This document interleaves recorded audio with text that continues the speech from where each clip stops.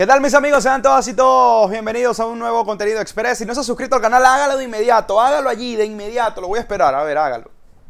Active la campanita para mayor información, soy Carlos Eduardo Faría. Hoy tenemos que hablar sobre un tema que seguramente usted no va a escuchar por otro lado, si no es en este lugar, aquí en, en, en, en CF por Media. Sobre todo porque más que emitir opinión se me han generado muchas preguntas evidentemente sobre la situación que hoy mismo, que hoy en día están viviendo los venezolanos en Perú. Eh, y aquí más que eh, ponerme de un lado o de otro, hay que entender algo, soy venezolano, es una realidad. Esto no, no lo voy a esconder nunca, ni, ni loco lo haría, la verdad. Ustedes me conocen y saben cómo, cómo soy yo con mi país cómo defiendo yo realmente los colores de mi país, a ese venezolano bueno, el venezolano de a pie que hace las cosas bien fuera de nuestro país y evidentemente lo hablo con, eh, con mucho, a ver, con un argumento y una base bastante importante, imponente, porque yo también tengo fuera de, Venezuela más de nueve años, intentando hacer las cosas de la mejor manera posible en el país que me ha abierto las puertas. Sin embargo, eh, hay que entender que en Perú se han eh, llevado a cabo diferentes situaciones de las cuales evidentemente pagan muchos venezolanos, esto es una realidad, pero hoy quiero yo involucrar esto en relación al partido que se va a vivir el próximo 21 de noviembre en Lima, en Perú, donde Venezuela visita a Perú y que ya ha tenido un antecedente bastante importante eh, y era la posibilidad de que a los venezolanos que iban a comprar entradas se le iba a reducir el espacio, los cupos de entrada al Estadio Nacional de Lima. A esto evidentemente se le están sumando diferentes situaciones en las cuales corren peligro vidas, de hecho, según las imágenes que estoy viendo, ojo, repito, no estoy muy no estoy tan informado de lo que está sucediendo realmente en Perú, pero sí he investigado demasiado en relación a la situación de los venezolanos en Perú. Sobre todo porque me llamaron la atención unas imágenes que vi en relación a la salida de miles y miles, era una caravana literalmente de venezolanos intentando salir de suelo peruano por la situación que se está viviendo.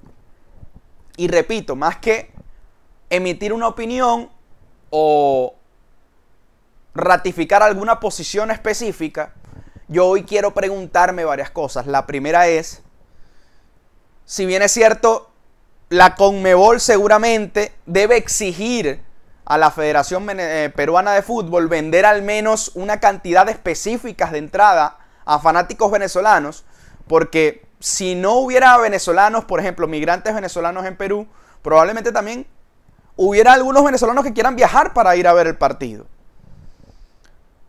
Evidentemente, aquí la Federación Peruana es la que tiene, digamos, la última palabra en relación a los venezolanos que van a dejar entrar al estadio. Si bien es cierto, hablemos de un número específico. Digamos que sean 5.000 venezolanos, que es muy bajo para el más de un millón de, venezolanos que hacen vida en Perú. Es una cantidad, digamos, eh, es una cantidad relevante. ¿Cierto? Y que seguramente si, si, si, si abren 20.000 cupos para 20.000 venezolanos, seguramente se van a cumplir y se van a comprar las 20.000 entradas. Entre las preguntas que a mí se me generan es, ¿quién le va a garantizar la seguridad a los fanáticos venezolanos que van evidentemente a estar en minoría? Se los digo con mucha preocupación, porque sí, ustedes me dirán, Faría, faltan 20 días para el partido, sí está bien, pero es que la situación está es preocupante en Perú ahora mismo. La situación en Perú en relación a los venezolanos es preocupante. Preocupante. Y esta pregunta se me generó porque tengo un conocido que tiene más de 10 años en Perú trabajando de manera honrada, eh, venezolano, que tiene una familia de hecho, y para él es muy importante, al ser venezolano, ir, a, ir al, al estadio a alentar a su selección. Y además no iría solo, iría con sus hijos, que son unos niños, pero que les gustaría también ver a la selección vino tinto en un partido de eliminatoria. ¿Quién le garantiza la seguridad a, a estos fanáticos venezolanos? ¿Qué puede o qué debería hacer la Conmebol en situaciones como esta?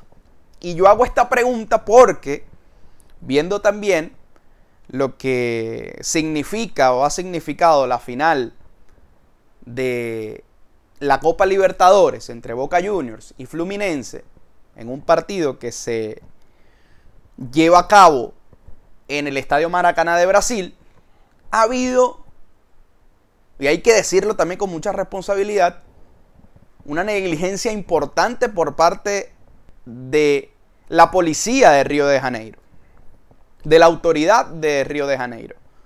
Pero ¿qué pasa? Por deberse a un torneo corto o un torneo de copa, digamos así, que comanda y que dirige y que además eh, es dirigida literalmente por la Conmebol, aquí probablemente,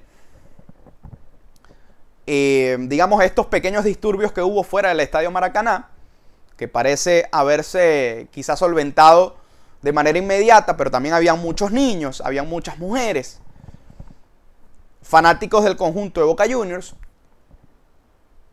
generó un poco de discrepancia en todos los medios de comunicación y además preocupación también. Porque pudo haber pasado mayores, gracias a Dios. No fue quizás al momento de la entrada eh, lo que sucedió.